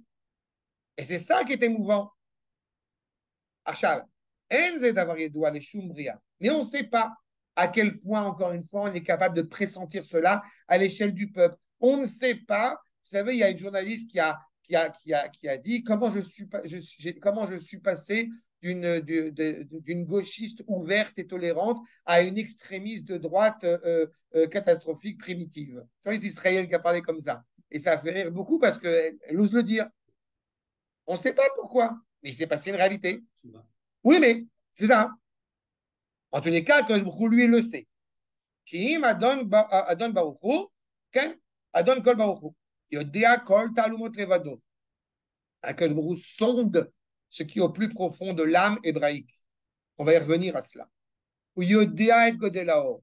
Il sait pertinemment, encore une fois, l'intensité, la grandeur de cette luminosité. Asher Lefi, Erer Chukato, Tegadel Shua. Montre que tu veux réellement la Géoula plus tu vas être conscient de ce qui te manque, plus tu vas vouloir le compléter, plus tu vas vouloir justement cette délivrance, puisque c'est réellement ce que tu veux. Akashbohu, il est prompt j'ai envie de dire, à, à nous amener cela. V'yodea et omek amechachet. On vit dans l'obscurité, on ne sait pas à quel point c'est obscur. Mais dès qu'on commence à voir l'obscurité, c'est qu'on est déjà un peu plus dans la lumière. Donc on souffre d'autant plus d'être dans cette obscurité. Cette neshama, elle, est, elle se retrouve, encore une fois, dans cette étroitesse. On ne peut pas supporter cette étroitesse. Ou Mishne de ces deux voix, à la fois de la demande, de l'aspiration qui nous, qui nous anime, et à la fois de la souffrance intérieure, Mitor Abtavo à Yeshua. On est dans une situation où pendant 2000 ans, vous vous rappelez de, du Rabbi Udalevi que j'ai souvent cité, on dit l'an prochain à Jérusalem, paka, paka, paka, paka, paka. à Zarzir. Allez, on a fini le Seder de Pessah. Oh Hashem. En 2000 ans, allez. C'est ce que dit Rabbi Udalevi. Et puis à un moment donné, bah, il se passe quelque chose. On n'est plus en train de le dire, euh, voilà, on le fait, on agit, c'est concret. D'accord? Et plus on est animé par cela, plus il est évident que la délivrance se met en place. À la fois, vous remarquerez, c'est d'abord Sha'avatenu, d'être conscient de ce qui nous manque, puis la souffrance intérieure. Et c'est important que ça dans ce sens-là. Pourquoi? Parce que certains, en réalité, malheureusement, ont une souffrance intérieure, et c'est au nom de cela qu'ils veulent la délivrance. Si vous vous rappelez, quand on avait étudié ensemble l'Agdama de Perek du Rambam, où le Rambam interroge qu'est-ce que c'est que la Géoula, qu'est-ce que c'est que le, le Mashiach? aux yeux de certains juifs, c'est de vivre en paix, tranquillement, sans problème économique et sans antisémitisme. Il y a de l'antisémitisme, donc je viens en Israël. Tu vois? Mais, alors, une mitzvah n'est pas, pas, dépendante de l'intention qu'on lui porte, mais j'ai souvent évoqué le fait que si ça reste à ce niveau-là, c'est un problème. C'est quand on évoque notre lien à Eretz Israël uniquement du fait de la souffrance que nous avions à Brooklyn. Non, ça vient d'un autre pôle. C'est la Neshama. Hashava, Mitor Hatzaka. Tavo Yeshua Yodeat Alumot viendra justement la délivrance avec celui qui sait sonder tout ce qui est caché. On ne comprend pas euh, toujours comment les épisodes historiques se succèdent l'un après l'autre, mais pourtant, Akadosh Baruch a clairement amène le processus de la délivrance du peuple juif. Comprenez bien, je vais revenir sur cette expression de Yodéa Talouma dans une seconde, mais comprenez bien dans ce que nous enseigne ici le Rav Kook, pour ceux qui, à chaque fois, dans ces périodes-là, se disent Mais euh, oh là là, euh, c'est comme la Shoah, oh là là, c'est comme le 11 septembre, oh là là, euh, on est retourné en exil, il y, aura il y aura un autre exil qui va arriver. je suis navré, je ne sais pas moi, Kadosh Baruch et Akash a décidé qu'il n'y aurait plus d'exil. Donc, il n'y a plus d'exil. Il peut y avoir une situation compliquée au niveau de, l'entité politique dans laquelle nous sommes, mais il ne peut plus y avoir d'exil parce qu'Akash l'a décidé ainsi. Et ce n'est pas parce que je souffre que c'est la galoute, ou parce que je suis content que c'est la Géoula. C'est parce qu'il y a des réalités concrètes qui font que nous vivons la période que nous vivons. Mais lui, c'est. Moi, je n'ai pas l'impression de savoir comment ça avance. Avec, encore une fois, cette élévation, cette valeur de sainteté qui anime la volonté du Créateur. Et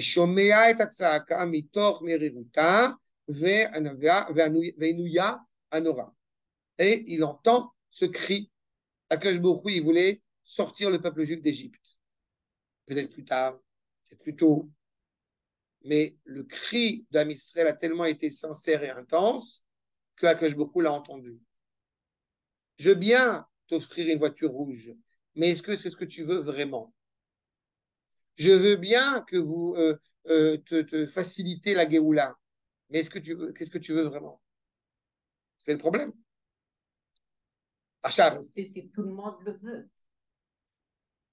C'est à nous de faire en sorte que D'abord, est-ce que tout le monde le veut? La réponse est oui.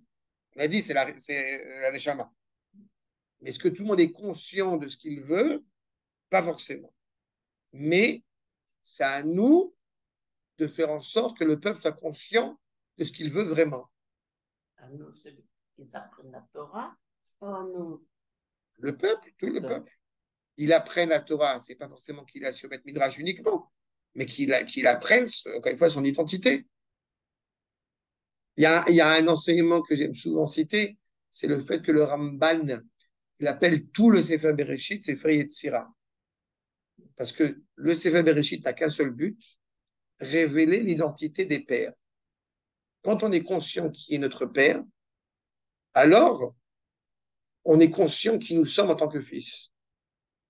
C'est pour ça que Sefer Bereshit, c'est Sefer Avot, et que Sefer Shemot, c'est Sefer Abanim, c'est des fils. Mais nous avons des fils qui ignorent, exactement, qui ignorent quel est, quels, sont ces illustres pères et mères. Donc, est-ce qu'il faut étudier la Torah? Ça passe par cela, d'abord parce que c'est ce qui révèle notre identité. Et je pense que bien au-delà de cela, en tout cas, c'est pas euh, moins, c'est être conscient, encore une fois, de celui à qui nous sommes rattachés par le biais de nos pères. On a des gènes, on a des métagènes. Achab. Et parfois, extérieurement, on a l'impression que, bah, euh, qu'est-ce que je vais apprendre à ce juif euh, qui a l'air totalement déconnecté, désintéressé et indifférent. Euh, Puis on découvre, on découvre que derrière, derrière cette, cette écorce, bah, il y a des choses exceptionnelles. D'où le Rav Nechoni a appris ce Yodéa Ta'alumot. Regardez, s'il vous plaît, accord numéro 17. Voyons les versets ensemble. Et après, nous verrons Bezrat Hashem le, l'explication du Malbim avait les versets. Allo Elohim, Haker Zot, qui ou Yodea Ta'alumot Lev.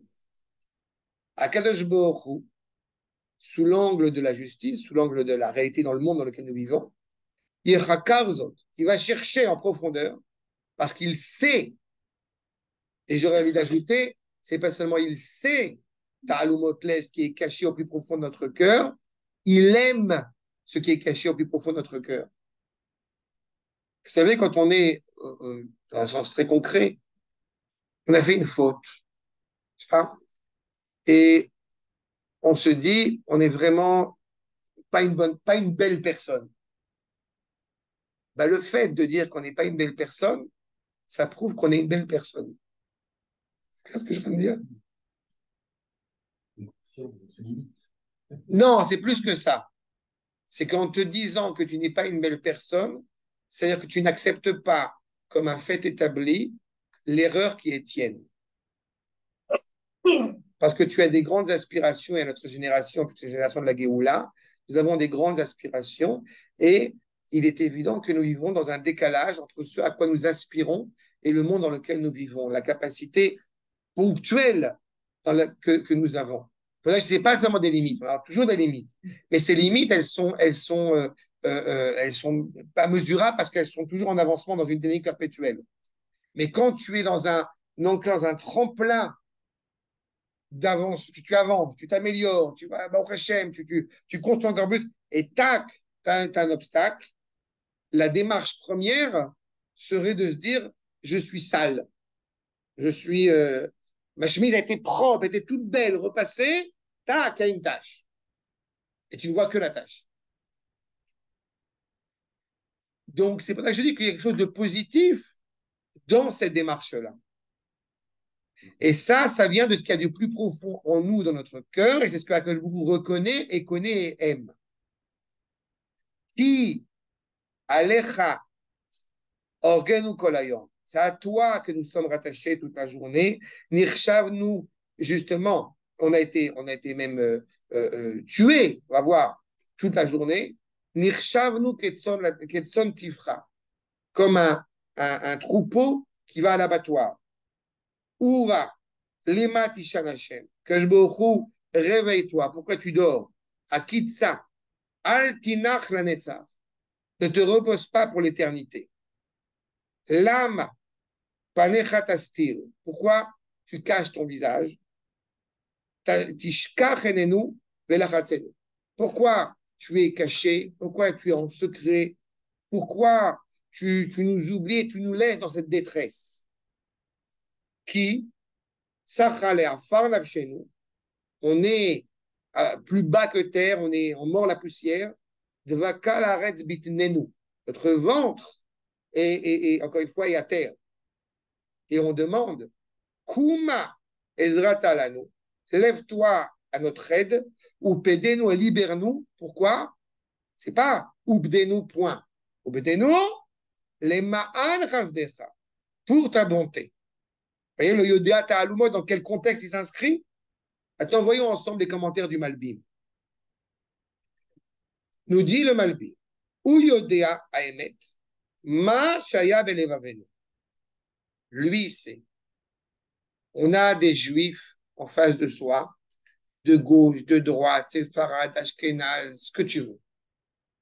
Et on a, extérieurement parlant, un regard, peut-être que parfois on peut s'en empêcher, un regard de jugement. Presque même à oublier que celui qu'on a en face de nous, c'est notre frère. J'ai souvent euh, eu l'occasion ces derniers temps de répéter qu'une des choses qui, euh, c'était une seule raison pour laquelle je m'émeus dans, euh, dans, le, quand je travaille dans le train, c'est quand il y a un soldat qui, qui me dit Archélie. Excusez-moi, ça me fait plaisir. On est le seul pays au monde où on se parle Archélie. C'est beau. Et parfois, euh, le Archélie, il a un tatouage et une boucle d'oreille. Mais c'est Archélie. Archal. Et quand tu les vois déjà dehors. Tant, que vous ne m'appelez pas mon père, ça va. Tu, trembles quand tu les vois dehors. Archal, en tous les cas, nous dit clairement ce qu'il y a en notre cœur. Il sait, il reconnaît ce qui est caché en nos cœurs. Et l'expérience va témoigner de cela. Ça fait 80 ans qu'on est revenu chez nous à peu près. On voit que dans ces moments de guerre, au grand désarroi des populations, euh, des animaux qui sont en face, ils pensaient que ça y est, c'était la fin du peuple juif. Même en interne, faut pas oublier qu'il y a un an, il y a deux ans, on est dans une situation où encore deux secondes et on avait un État œcuménique qui, euh, euh, euh pardon, euh, qui, qui était ouvert à tous ses citoyens sans distinction, etc. Et tac, c'est fini. C'est pas si longtemps que ça. Hein oui, j'appelle ça œcuménique, ça c'est mon expression moi. L'expérience montre. À quoi elle sert cette roque? Bien sûr, elle sert. Il fallait remettre les choses au ah, Mais je vous dis.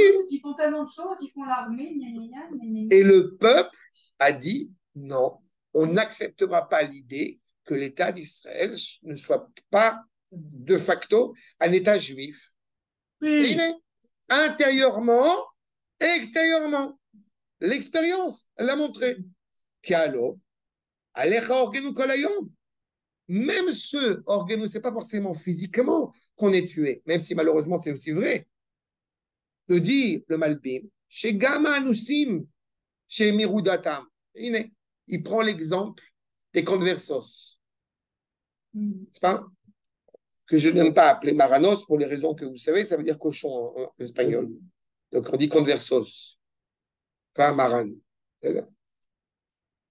Non, mais il faut connaître les appellations.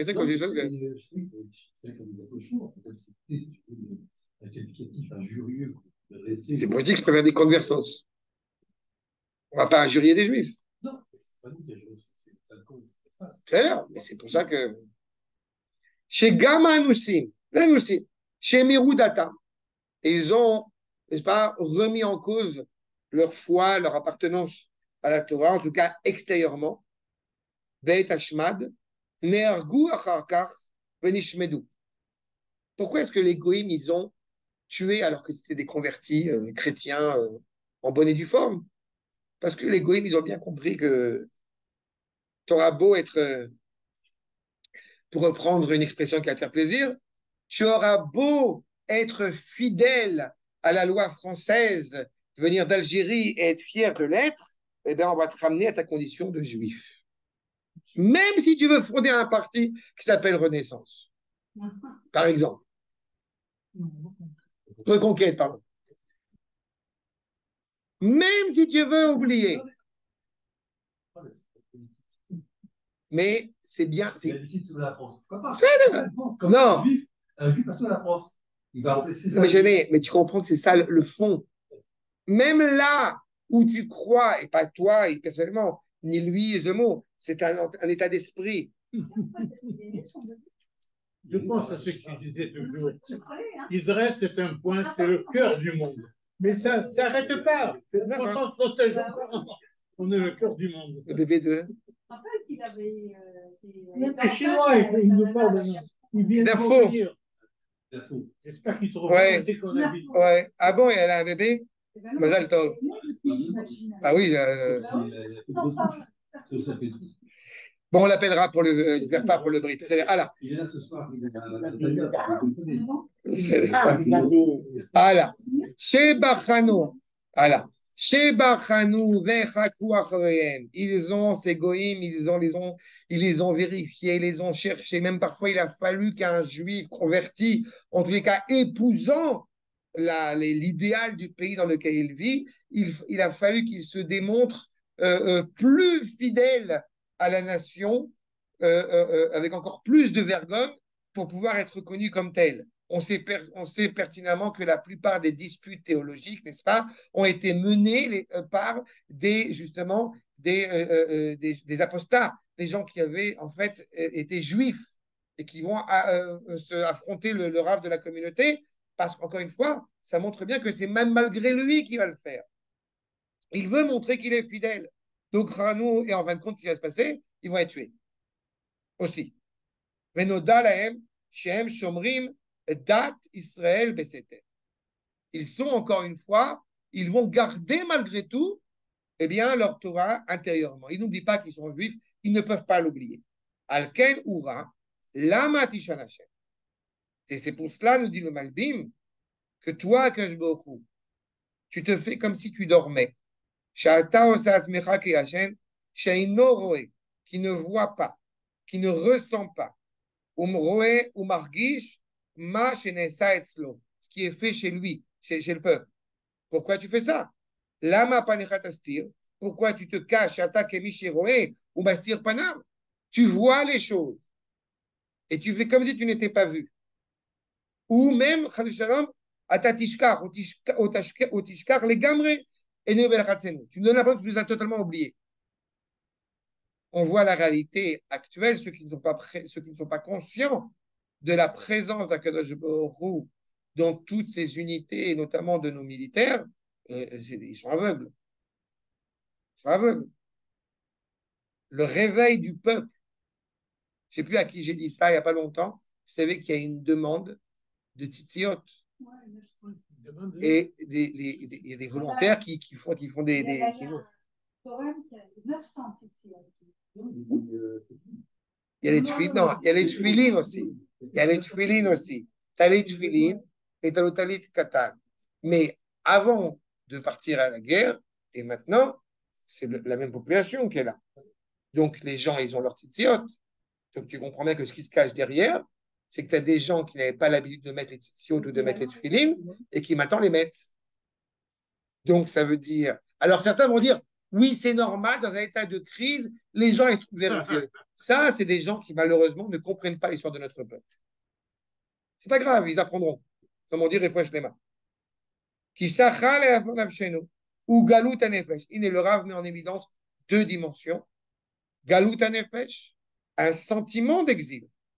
D'abord, pour pouvoir te libérer physiquement, il faut que tu aies le sentiment que tu es emprisonné. C'est le danger, malheureusement, du peuple juif à travers toute notre histoire. Quand on se sent bien en exil, on n'a aucune raison de partir. Et quand est-ce qu'on commence à sentir qu'il faudrait partir? Ben, Quand ça ne va plus. Vous êtes déjà trop tard. Mais ce qu'il faut, c'est qu'on essaie d'éviter cela. En tous les cas, Yodea Ta'alumot, tu sais qu'il y a un sens à l'histoire, comme on l'a souvent évoqué. Vegam davka, l'arrêt bitagalut, encore une fois, non seulement le fait qu'on morde la poussière au niveau spirituel, et aussi le fait que notre corps soit rattaché à la terre. Donc c'est aussi un exil physique qui s'y attache. Et malgré tout, on demande justement clairement à Kajbourou, Kuma Ezrata Lanu. Lève-toi pour nous libérer intérieurement. Le fait de ne plus vouloir être, euh, encore une fois, euh, euh, aux dépens des nations qui nous occupent. C'est déjà une libération mentale, spirituelle. C'est pour ça que je trouve à chaque fois scandaleux le fait de faire un parallélisme, bien que je comprenne la souffrance, mais je trouve à chaque fois scandaleux de faire un parallélisme entre il y a 80 ans et aujourd'hui, parce que nous avons une armée qui se bat pour sauver son nom, sa terre et, ses citoyens. On n'est pas du tout dans le même contexte. Et si on est capable de faire ça, c'est-à-dire que déjà à l'intérieur, il y a une première marche, qui est plus qu'une première marche d'ailleurs, de libération de notre, identité. Ou peut-être des mais galoutagou. Et qu'aussi que physiquement, on soit pleinement libéré. Et gam et rajoute le rare, c'est pas seulement pour nous parce qu'on souffre, puisque justement on dit les man chasedecha. Chesed, c'est quoi, je vous rappelle? On n'a pas forcément de mérite, et pourtant, on lui demande de nous aider. Ce qui montre bien un postulat supplémentaire. Nous dit le